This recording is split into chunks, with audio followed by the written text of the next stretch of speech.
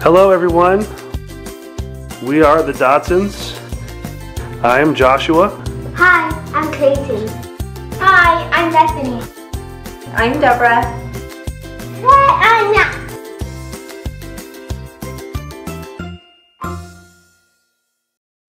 Hello everybody and welcome to our channel. Today we are going to be undecorating our house from Christmas. Today is two days after Christmas and normally we keep our tree and decorations up for a little bit longer. However, our tree was dying out so quickly this year and I'm not sure why. But there was a bunch of needles and everything on the ground from it and it was making a really big mess. So we just decided to take care of it today.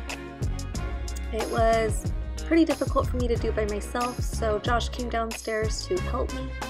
They are getting ready to go to the movies and watch Aquaman, so he just helped me take this outside because it was kind of heavy and super dirty. And the rest of it I could do on my own, and Krista did help out in the end too. You'll see her in here too, so that was nice.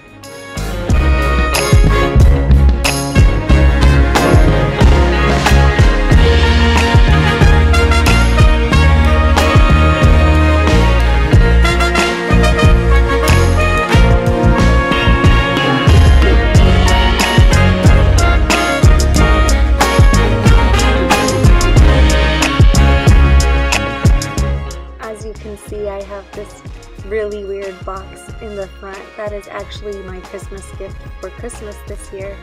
My wonderful husband got me an iMac because I have been editing my videos on an iMac that's like 10 years old.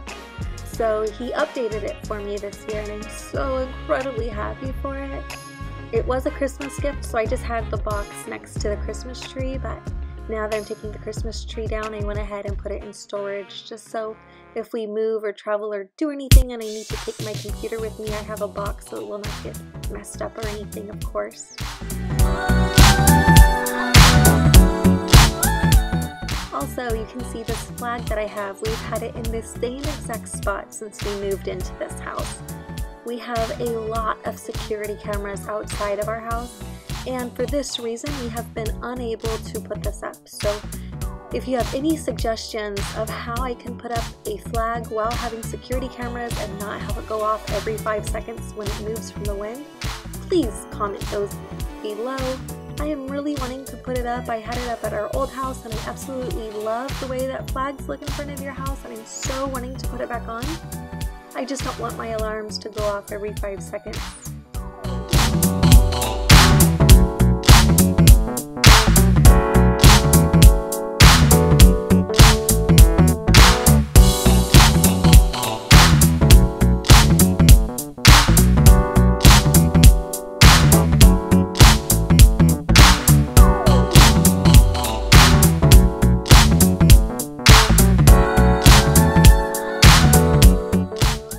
Seriously, you guys, the needles from this tree were all over this room. It was crazy.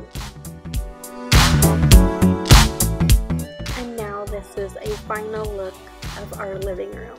You guys, I haven't had to buy anything new for my living room since we moved here. And if you notice, there's a picture missing in the middle. That's Bethany's. She took it to school to be in the yearbook, and we just haven't got it back yet. So now we are starting on the family room and Tessa is helping me out here in this part you can see. We are trying to take down the tree and everything off the fireplace and kind of just do a little bit of everything. So she was a super big help, made everything go by really, really quick and easy.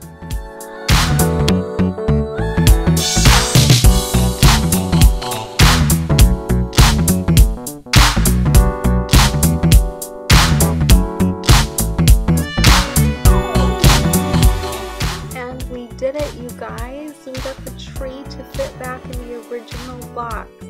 It wasn't perfect, but it fit and it was good enough. And I was so proud of myself. It's so hard to put something back in the box. It's ridiculous. Now I am just going to vacuum this room, make it look tidy, kind of just go through and spruce everything up. I got this clock at Target today for $35. I had a bunch of gift cards to Target from Christmas, so that's what I got. We're kind of seeing how high we should put it and change it around a little bit. It's super, super light, so I just put it on there with a push pin, and I didn't even need Josh or anything.